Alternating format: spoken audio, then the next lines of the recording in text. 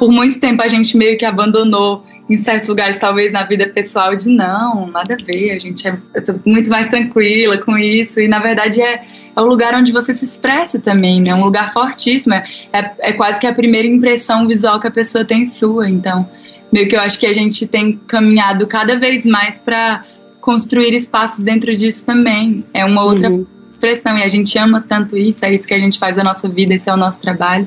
Eu acho que é só uma extensão das coisas artísticas também. Este é um podcast Rádio Disney. Mel e girassóis, te peço, só te peço, fica. Uma das duplas mais originais do Brasil sempre se expressou através de sua música. Agora, a conversa com o público ganha um novo capítulo. Nesse papo com Ana Vitória, falamos sobre as diferentes formas de se manifestarem, inclusive com a moda. Além disso, a expectativa para o retorno aos palcos, o rascunho da próxima turnê e, claro, muita música. Vem com a gente em mais um episódio do podcast Conversas Rádio Disney ou, parafraseando Ana Vitória, fica e queira ficar. Oi meninas, tudo bem? Olá. Tudo jóia, e você? Tudo bem, bem-vindas de volta. Como é que vocês estão? Estão bem? Estamos bem. Bom, começando, vamos falar aí de tudo que aconteceu nos últimos meses. Nos últimos meses, não, né? Já tem dois anos aí que a gente está passando por uma coisa que a gente nunca imaginou que fosse passar, né? E isso acabou trazendo muita incerteza para as pessoas, para a vida de muitas pessoas. E musicalmente falando, né, a gente viu muitos artistas produzindo materiais até mesmo mais intimistas e tal. É, e aí eu queria saber artisticamente, como é que foi isso para vocês, esse, esse período nosso de, de reclusão? Se despertou alguma forma diferente de vocês comporem ou vocês enxergarem a arte? É, eu acho que quando a gente bateu aquela ideia na última vez, a gente já tava com o disco na manga e nem, nem conversou sobre isso porque era segredo, né? Uhum. Mas o ano passado inteiro a gente produziu o nosso disco, né? O nosso álbum Cor, que foi lançado no primeiro dia desse ano. Uhum. E, e, foi a primeira vez que a gente é, teve um processo com o tempo. E eu acho que quando a gente experienciou isso, de poder fazer tudo com calma, de poder escolher de verdade o que se quer, experimentar e, e enfim, mudar de ideia, quando a gente é, viveu isso de poder mudar de ideia, eu acho que mudou muita coisa na nossa cabeça. Mudou muito como a gente quer levar o nosso trabalho daqui para frente, sabe? Com mais cuidado mesmo, com mais presença. É, a gente aprendeu muito nesses anos todos, mas principalmente na pandemia, que a gente assentou e pôde observar de fora a nossa, a nossa vida, a nossa carreira, a nossa música, eu acho que a gente existe uma tomada de consciência muito forte, sabe? Do que se quer e do que não se quer. Sim. Então foi uma oportunidade também, né, para vocês olharem de, de outra forma para o trabalho de vocês, né? E aproveitando aí que a gente está falando de, de, de, composição, tal, eu queria falar de Geleira do Tempo. Ela foi inspirada de certa forma por esse período que a gente passou? Uh, eu acho que não inspirada. Uhum. E ela existiu dentro desse tempo, né? Então, é, dentro do, do ócio de estar tá em casa, enfim. Mas essa música eu assino junto com o Tobran de Leone. E quem veio com a primeira parte da música foi ele. Ele veio com o refrão e, e com alguns versos e eu completei junto. Então a inspiração veio muito mais do, do coração dele, da história dele, do que de qualquer outra coisa. Uhum. E essa música, ela tem uma colaboração com outra grande dupla, que é o Jorge Mateus, né? Eu queria saber como é que rolou o convite, por que o Jorge Mateus, né? Se teve algum motivo especial, e, e eu queria saber se quando a música estava sendo é, escrita, estava sendo produzida, vocês já tinham em mente que queriam eles? Esse não era um pensamento, essa música, como a Aninha contou, essa música existiu no início desse ano, uhum. a gente estava em isolamento, estávamos na serra e ela estava ali, sabe? Tipo, ela ficou e ficou acontecendo, a gente ouvindo e amando muito, a gente não tinha um plano específico para essa música. E aí, em outro papo, a gente na Serra também, em outro papo, assim, a gente pensando coisas que a gente queria fazer, assim, ah, coisas para o futuro, o que, que a gente poderia fazer nesse momento agora, porque também é, esse ano a gente encontrou várias, vários momentos em que a gente já tinha o entendimento do que, que era a pandemia, mas também ninguém sabia. Ai, não, e aí a gente vai voltar daqui a pouco? Não, vai ser daqui a pouco, então meio que ficou numa esperança de certas coisas acontecerem. E eu lembro que isso foi muito num papo desses assim, mas cara, e os shows não vão voltar? E o que, que a gente tem para fazer agora? Tipo, e aí essa música já existia, era uma música, sempre foi uma música muito forte, a gente sempre uhum. amou. E num desses papos a gente ficou, cara, por que, que a gente não chama então Jorge Mateus para fazer? Que essa música tem essa, essa coisa forte do sertanejo. E pra gente, porra, um sonho, assim. A gente escuta os caras a vida toda. Fomos a shows quando a gente era pequena em Araguaína. Então, meio que fazer isso acontecer foi uma grande realização, assim, também, sabe? Poder encontrá-los numa música, então foi muito especial. Foi meio que assim, a, a história foi mais ou menos isso. Uhum. É, aproveitando que você comentou disso, né, e era o que eu ia perguntar sobre essa é, relação de vocês com o Jorge Matheus. Então é verdade que vocês sempre foram muito fã deles, né? Desde e... 2007 sabendo todas as músicas de Cabarraco. Quando o Brasil inteiro não sabia ainda quem era Jorge Mateus, Araguaína estava lá, firme. Como é que é para vocês cantar do lado de ídolos de vocês, né? No caso do, do Jorge Mateus, que a gente está falando deles, passa na cabeça a primeira vez que vocês ouviram Jorge Mateus e, e como é que é essa, essa experiência de estar tá gravando e cantando uma música tão tão forte, tão maravilhosa com os caras que sempre foram os seus ídolos? Ah, a gente ficou muito honrada, assim, eu acho que é, mais legal do que gravar com alguém que você gosta é você conhecer essa pessoa e essa, essas pessoas serem exatamente o que você imaginava dela, sabe? E os meninos são pessoas muito queridas e muito amorosas, eles foram muito abertos com a gente. É, a gente ficou toda boba. Eu, eu, tava, eu escrevi, assim que saiu a música, que Jorge Mateus foi trilha do, da primeira, primeira festinha, primeira paquera, primeiro beijo. Então, passa um filme na cabeça, né? Eu sei que lá em Araguaína, os nossos amigos, as pessoas de lá, enfim, ficaram todo mundo muito. Meu Deus, elas fizeram música com Jorge Mateus, que coisa maravilhosa. Ficou todo mundo impressionado, assim. Porque existe mesmo uma uma memória afetiva muito forte. E que bom que deu certo disso acontecer. Eu fiquei muito feliz. E, e, vocês têm uma relação muito especial com o sertanejo também, né? Inclusive, vocês já gravaram, é, tem uma parceria com outra dupla, que é o Matheus e Cauã. E lá atrás, no começo, em algum momento surgiu uma ideia de vocês se lançarem como cantoras de sertanejo? Não, ah. mas a gente gosta muito, escutamos muito durante a vida toda e seguimos escutando. A gente acha muito lindo, assim, tem um, tem um lugar muito profundo, né? Tem umas certas canções que bate assim, Sim. rasgando o coração. E eu acho que no final das contas a gente tá muito nesse. As músicas que, que a gente ama muito são músicas muito, muito nesse lugar da canção. Uma parada que toca muito o coração, sabe? Aquele lance que te abraça. E eu acho que o sertanejo tem, tem muitas vertentes do sertanejo que tem esse lugar. E a gente ama muito. Voltando aí a falar em Geleira do Tempo, ela vai estar tá num próximo álbum de vocês? Tem algum disco a caminho, alguma coisa que vocês podem falar pra gente? Adiantar? Dessa Nossa, vez não tem nada escondido. A gente lançou disco esse ano e eu acho que por, por a gente estar tá nesse tempo, parece que foi ontem. A gente não viveu esse disco na estrada ainda. Então, apesar de fazerem já 10 meses, e é muito louco pensar isso, é, ele ainda é um bebê, a gente ainda nem viveu, a gente nunca cantou essas músicas, nunca tocamos essas músicas, então a gente precisa viver esse disco na estrada para poder pensar em outro, precisa viver a vida também para ter matéria para escrever sobre outras coisas também, né? Porque senão complica. Falando, aproveitando aí que vocês falaram desse disco, queria é, parabenizar vocês pela indicação ao Grammy Latino, né? E que vocês concorrem como o melhor álbum de pop contemporâneo, né? Com esse disco que foi lançado aí no começo do ano, mais recente de vocês.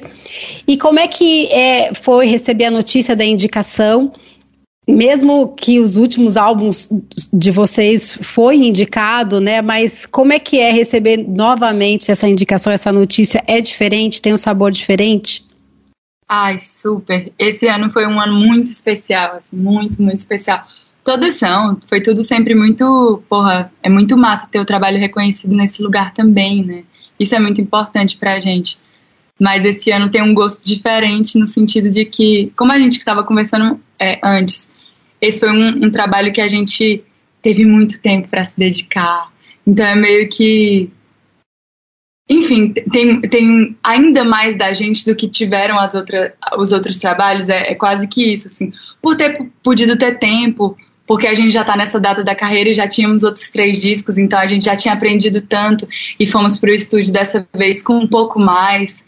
É, tem a história da gente estar tá no momento da carreira que a gente está independente, então são várias várias coisinhas que foram muito importantes. E essa música também, que é a outra indicação, que é Lisboa, que é uma composição de Ana e do Paulinho Novaes, que é um amigo nosso, muito querido e um grande compositor, e é a participação do Lenine.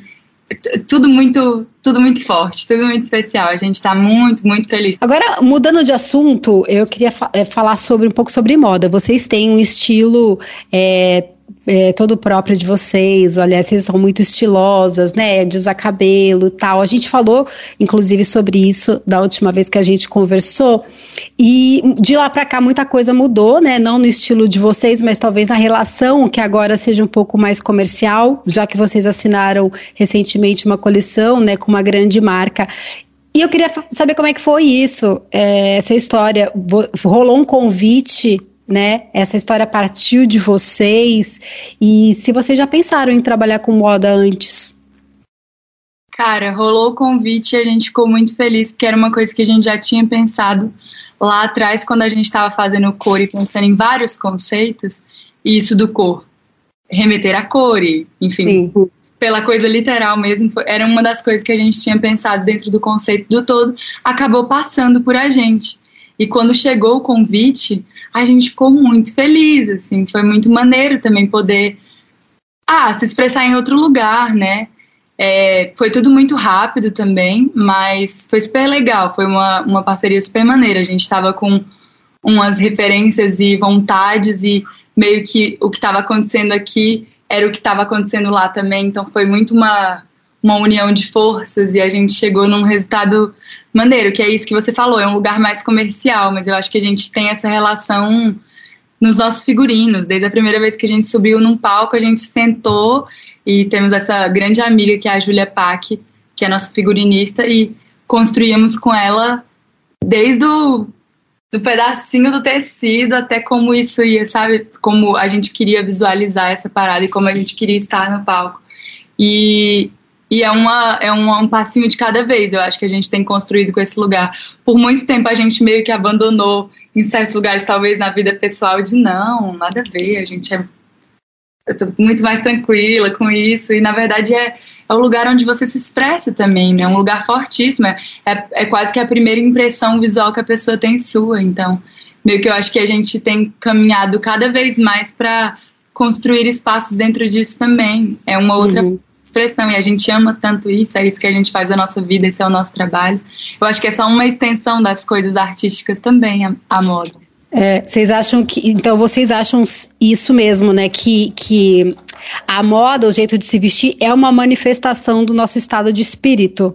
É uma forma de se comunicar também, né? Toda certeza. Em relação às cores que vocês usam, por exemplo, né? Aquela é, é, é, o jeito que você tá na, no momento, né? Tem total a ver, né? Demais. E vocês também, então, aí como você falou, vocês também dão, é, participam da escolha de figurino, no, no, tanto nos shows quanto nos clipes. Vocês têm ajuda, mas vocês constroem juntas. Exato. Sim. No, no palco é sempre com a Julia Pack, que a Vitória falou. E nos, nos clipes, agora que a gente está é, trabalhando com algumas pessoas, mas sempre foi muito na raça, né? Sempre foi muita gente escolhendo tudo. É, vocês, mas a, a, última opinião é de vocês, né? Vocês estão sempre ali com a. E falando em show, em tempo de estrada, né? Vocês estão falando aí da, do amadurecimento de vocês, vocês devem ter muita história é, engraçada, tipo gafe, alguns perrengues. Tem alguma história engraçada que vocês lembram que vocês possam contar pra gente de gravação, de estúdio, desse tempo todo de vocês aí na, na carreira? A primeira história que me vem é a do da rádio. Ah, da rádio. que é até engraçado contar isso dentro de uma rádio, mas enfim. É, existia um, um programa, era, um, era como se fosse uma Era live, um assim. live, mas tinham entrevistas no meio, era isso. É, era para uma rádio do Rio, e aí a gente cantava umas músicas e tinha uma intervenção de um, de um locutor é, que vinha fazer umas perguntas pra gente e tal. E antes, no camarim, ele tinha entregado um livro é, falando sobre a história da rádio. Era um cara, ele é um cara super apaixonado por rádio. E aí, na hora, a primeira pergunta foi: qual é a importância da rádio na vida de vocês? E aí a gente teve a brilhante ideia de responder: ai, nenhuma, assim, a gente não, a gente não escuta muito. E, assim, duas meninotas, assim, depois a gente voltou pro camarim e o que que a gente falou aqui?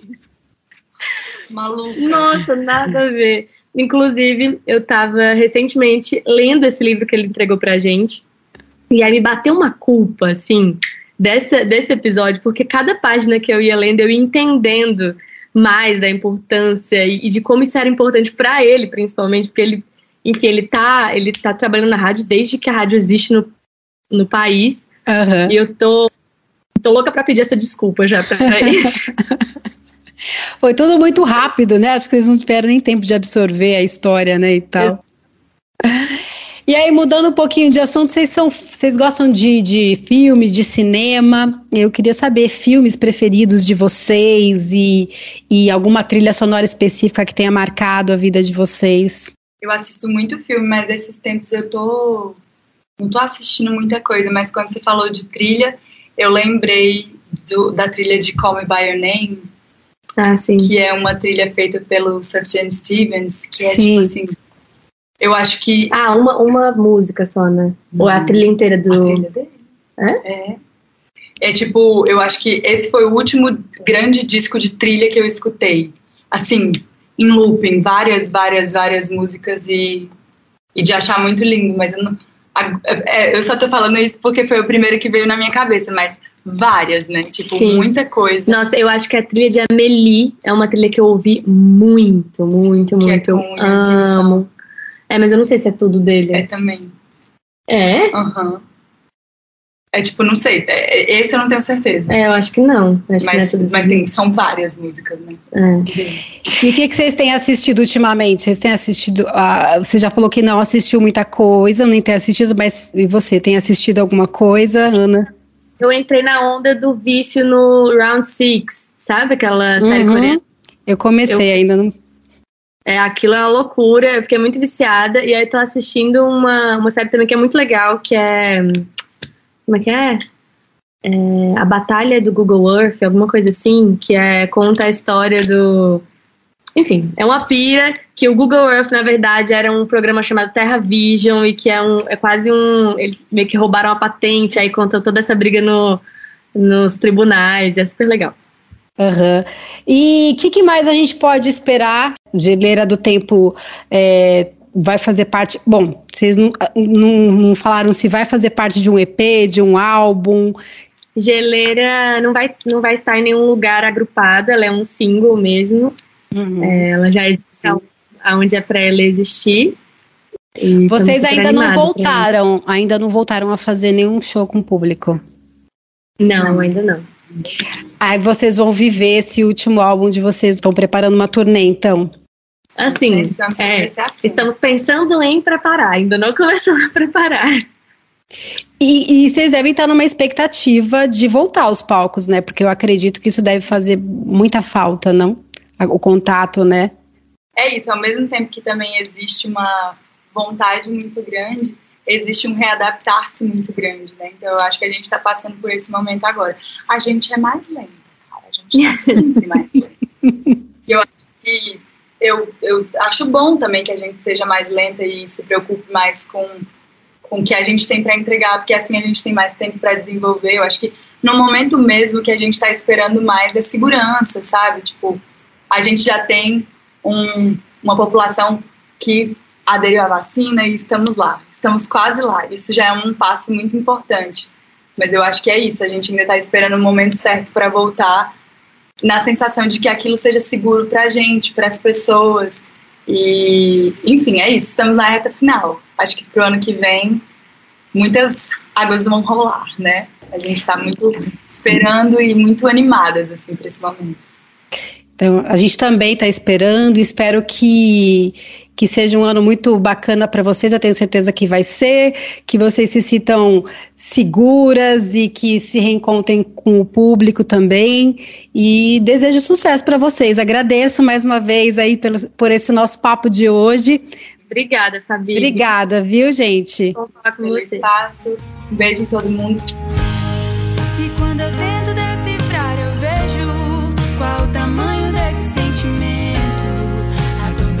Preservado nessa geleira do tempo. Cada minuto que eu te vejo é pouco pra essa vontade que explode aqui dentro.